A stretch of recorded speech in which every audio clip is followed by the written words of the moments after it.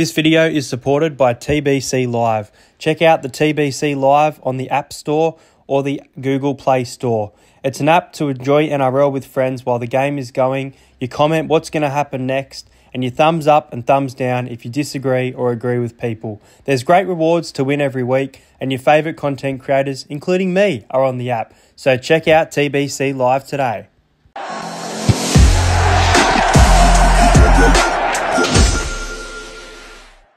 Well, round number five was a crazy round of football with wet weather, with some big upsets throughout the weekend, with some blowout scores. You know, teams are scoring high points. And look, I'll speak about those games throughout the video, but I went five from eight, I think, for the week. I got three games wrong there couple of 50-50 ones there that I got wrong. And uh, it all starts on Thursday night at Newcastle, McDonald Jones Stadium, when the Newcastle Knights take on the Sydney Roosters.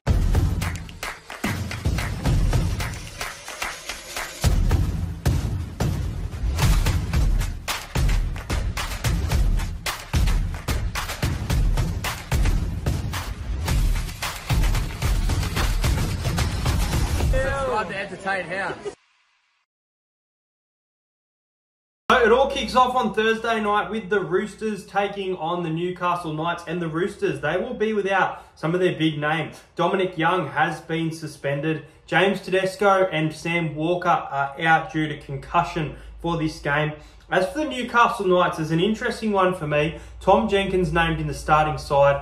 Greg Marzhew named on the reserves. I think Greg Marzhew might come into that side which will definitely boost the Newcastle Knights. And Ari Tuala had a blinder on the wing last week in the, the wet weather, so we'll see if he can back up that game. Kalyn Ponga involved as always, and great to see Cogger and Hastings in the halves. Looks like that combination uh, going forward with Tyson Gamble still named on the reserves for this one. So yeah, it's going to be tough for the Roosters here at Newcastle in front of the home crowd. Not sure what the weather's like. It's raining up here at the moment, which is pretty close to Newcastle. But uh, Roosters, you know, you got Manu at fullback, Michael Jennings, Suaalii in the centres. Michael Jennings playing his 300th game of NRL this weekend, so massive milestone there for Michael. Unfortunately, won't get the match ball, but you know people will give him recognition over the weekend. Um, and look, if you want to start the argument oh, he doesn't deserve recognition. He's been cleared to play NRL. For me, that's enough. Um, if he wasn't cleared to play NRL, fair enough. Uh, Tupouniua, Terrell May, Naufahu Whyte, and Zach Dockar-Clay have been named. So Connor Watson, Keary in the halves, nice there. Uh, Egan Butcher, after scoring a double last week, is named on the reserves. Interesting. Um, yeah, it was a, a, weird game, that Roosters Bulldogs game. Lots of injury, lots of errors. The Bulldogs um, had a big score on the Roosters, and then the Roosters came to get them.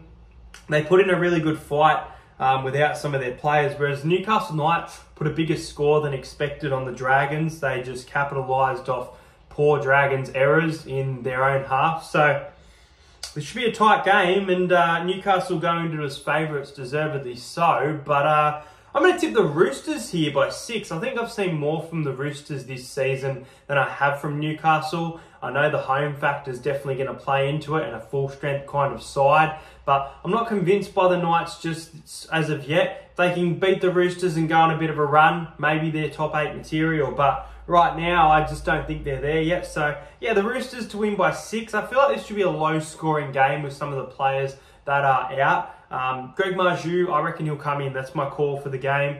Uh, Roosters to win 20 points to 14, so the Roosters by six. My first try scorer, I'm going to go with Junior Pauga coming back into that Roosters side to cross over for the first try of the round. Next up, it is the Melbourne Storm, and they take on the Canterbury Bankstown Bulldogs. The Bulldogs, much like the Roosters, will be missing some key men this weekend. Blake Taaffe, Kurt Mann, Harrison Edwards, all out for this one. Nelson Asofa Solomona named on the reserves. Really interesting there for the Melbourne Storm. It's Wishart, Welch, Moroa, and Alec MacDonald named on the bench for this one.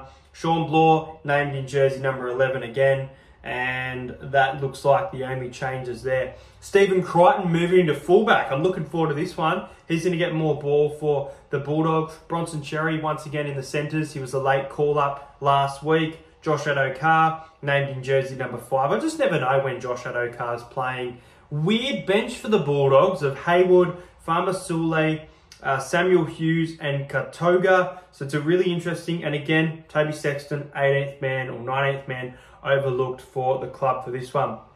Well, the Storm, they didn't look great against the Broncos. I know their attack was fairly good, scoring high points, but they still conceded some a lot of points, and that worries me because I've done that a couple of times this year. So this should be a good game. Um, the changes to the Bulldogs as well make it really, really interesting. You know, we saw a great performance from them last week. They got the win. Can they back it up? Weak in the second half, you know, weak defence. So they're going to be fired up for this one, I think. And I think a lot of people are going to go Storm by 40. I'm going to go the Storm by 16. I still think the Storm will win just 13 plus. I think they'll just be able to win 13 plus. But I'm going to go the Storm to win 26 points to 10. My first try scorer for the match, I'm going to go Harry Grant from the Melbourne Storm. Harry Houdini to score in this game for the first try. Harry Grant and he used to play for the Melbourne Storm. So I'm going to back Josh Addo-Carr to score a try at any time, but I think the Storm should be beating the Dogs. Well, at the moment, it is the Brisbane Broncos sitting lower on the ladder, uh, going up against the Dolphins, who sit first on the ladder at present. And the Dolphins are going to be missing Herbie Farnworth this week. Now, Tom Flegler has been named for this one, but I don't expect him to play. We'll see. Felise Kaufusi is out, and Kurt Donoghoe is out as well. Big outs for the Broncos. Adam Reynolds and Deine Mariner out for this one. Jock Madden comes back into jersey number seven, and Corey Oates moving to the wing rather than the interchange. Reece Walsh has been named as fullback. I know he's been training. This will be a last minute decision. I think it'll be a big thing to play him, and I think it kind of changes the momentum of the game as well. I think he might play. I really do but I can see them definitely resting him and giving another week. But this is three weeks ahead of schedule based on the injury. Now, speaking about the Broncos, I know they lost against the Storm. I know it was a bit of a choke, but I still thought they looked really good. Ezra Mam, couple of great tries there. Mariner injured, which is very unfortunate, but still some flashy attack, looking better and better as this season starts to go on. And then the Dolphins, I was a bit disappointed with the Dolphins. I thought they were going to go on with it against the West Tigers, but the Tigers really came to get them in that second half there. So, you know, they're sitting on top of the ladder, they're getting the wins, but I think they can be playing better. And that's why I think the Broncos win this game. I can see this being a very, very tight contest, like a six point kind of margin. I'm going to go with the Broncos by 10. I think this will be one of those games where it's neck and neck, and then the Broncos just kick away and maybe score two tries in the last 12 minutes to kind of seal the game. Um, I'm going to go with someone who loves scoring against the Dolphins. I'm going to go to Tony Staggs from the Broncos to score first for this one. I think it'll be a good contest at Suncorp, but I think that the Broncos should be getting the win. Next up, we head over the ditch as the Warriors take on the Manly Sea Eagles at home. The Warriors, a great win over the Rabbitohs, 34 points to 4, almost putting 40 on the own side at home. And I would think it was their first win uh, at a core in, I think, about, I think it's been a long time. I won't guess because I know people hate in the comments. I've seen you go, no, you're wrong about that. So I won't guess, but I was going to say about seven, eight years, something like that. And then for the Warriors, Bunty Afoa is out. Kurt Capewell has been named to start in the back row. Dallin Watene-Zelezniak comes on back on board into the side as well. Adam Pompey has been overlooked, put on the reserves for this one. Charnze Nicoll-Klokstad at fullback and Roger in the centres once again. As for Manly, Reuben Garrick is out, so that's a big out there. I thought Brad Parker might be named in the side, but Corey Waddell comes into the starting side and Ben Trbojevic gets moved to the centres. So Interesting one there. Now, Manly, they looked like they weren't going to do much against Penrith early on, and then Manly just got the job done, got that milestone for DCE. The struggle for Manly this year is their away footy, but they're playing that kind of we're coming to get you footy, you know, the score doesn't matter footy. But as for the Warriors, although they haven't been amazing this season, their attack has still been very good, and in front of the home fans, they should be getting this win. But I'm going to tip Manly here. I haven't done this all year because I have gone against my gut, and this is one of those tips I don't expect anyone to tip Manly. But I'm going to tip Manly. I'm going to go Manly to win 30 points to 26. We're going to see plenty of points in this game. I do think that the Warriors are going to score first. I'm going to go Charnze Nicoll-Klokstad to score first in this one. The fullback from the Waz, Manly to win by four, and my anytime try scorer, who I'm going to have a bit of a sprinkle at scoring a double. I reckon expect a massive game from Haumole Olakau'atu to score a double. And I think the Sea Eagles get an upset win over the Warriors. Oh, do I want to talk about this next game?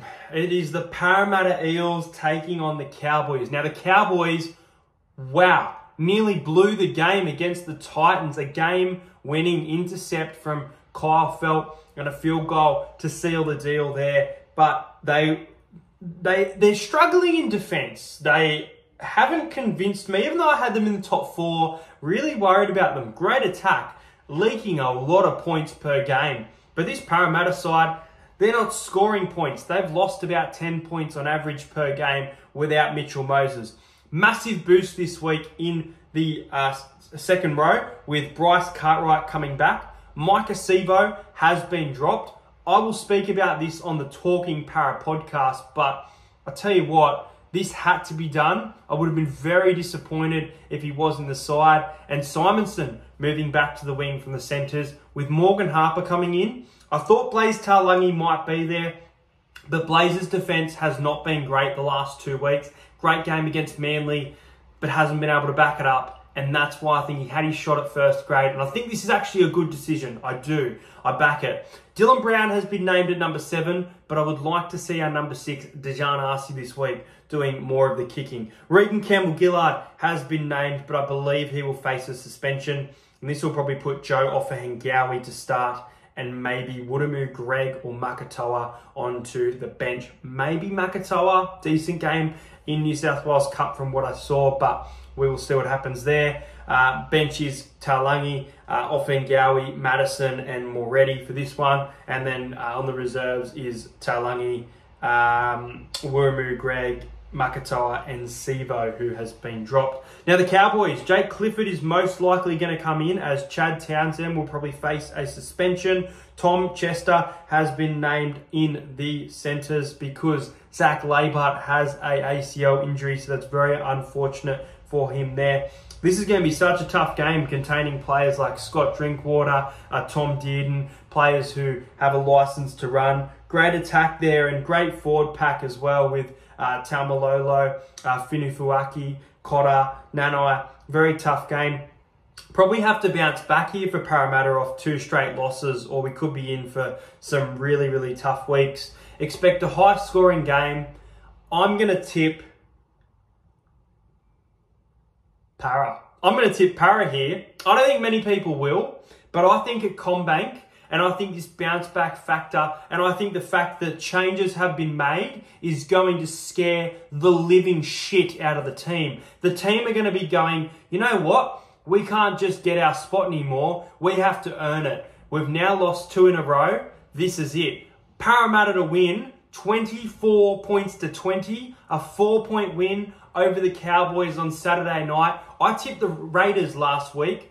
I tip against Parramatta when I think they're going to lose. I reckon they bounce back on Saturday night. I really do. And I don't mind this team lineup to do it at all. My first try scorer is Morgan Harper. He's going to prove everyone wrong, have a big game against the Cows. And I'm actually going to back another Eels try scorer, another one to silence people. I'm going to go with Dylan Brown. Although I don't think he is a seven, he gets a lot of ball, and I reckon he'll cross over for a try in this match. It's going to be tough. The Eels to beat the Cowboys by four. It is the South Sydney Rabbitohs, and they are taking on the Sharks. And my gosh, there are some changes that I'm very concerned about. Now, a good change, Jye Gray coming in to fullback. I believe it is his NRL debut. Uh, yeah, that's really, really cool. Tyrone Munro coming onto the wing as well for Alex Johnston. Uh, I forget who was there last week. I think it was Izaac Thompson, actually. Yeah, Izaac Thompson. Um, great to see Tyrone Munro back there. Um, Cody Walker and Hawkins still named in the halves for this one. Peter Mamouzelos coming into jersey number nine. It's great for my super coach. But what is Jason Demetriou doing? Damien Cook is making 40 to 50 tackles per game, missing one to two tackles per game. I just don't understand what you are doing. and you're taking the piss right now, mate. Jason Demetriou, it's coming to an end, guys. It's coming to an end. He will not be there in a few weeks. I guarantee it. I made a video on the Rabbitohs and their season, and I dead set think this team is going to be fighting for the spoon because they have to make changes, and these changes. How the hell has Tallis Duncan been dropped? I don't understand this team at all.